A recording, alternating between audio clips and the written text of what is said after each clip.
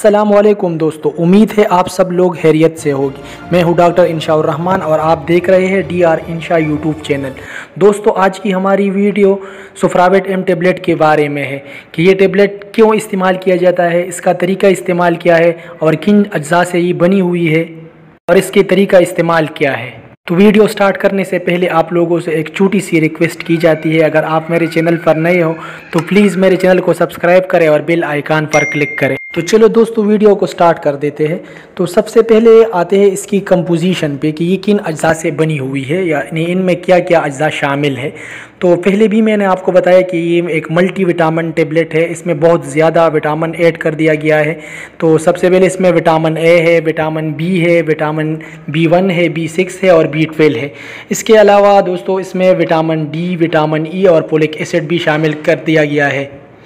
और इसके अलावा इसमें मिनरल और इलेक्ट्रोलाइट्स भी है। ये चूँकि एक मल्टी विटामिन टेबलेट है तो इन लोगों को प्रिस्क्राइब करता है कि जिन लोगों में विटामिन की कमी हो तो वही लोग ख़ास तौर पर बी वन और बी ट्वेल्व की कमी हो तो इन लोग, वो लोग भी ये इस्तेमाल कर सकते हैं।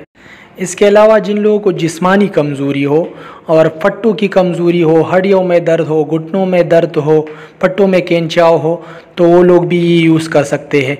और इसके अलावा ये क़वत मुदाफ़ात को भी बढ़ा देती है।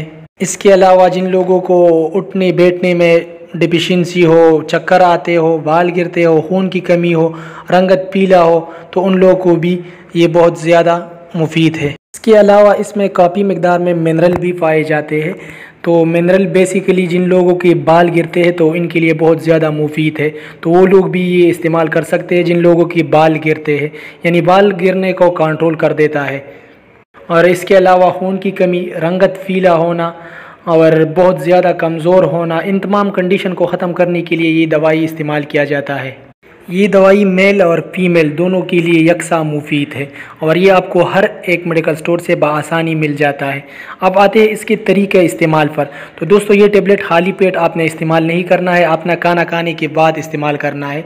और रोज़ाना सिंगल डोज, जो भी मल्टीविटामिन हो तो आपने रोज़ाना एक डोज़ इसका इस्तेमाल करना है, यानी एक टेबलेट रोज़ाना आपने इस्तेमाल करना है और पानी के साथ इस्तेमाल करना है। शुक्रिया।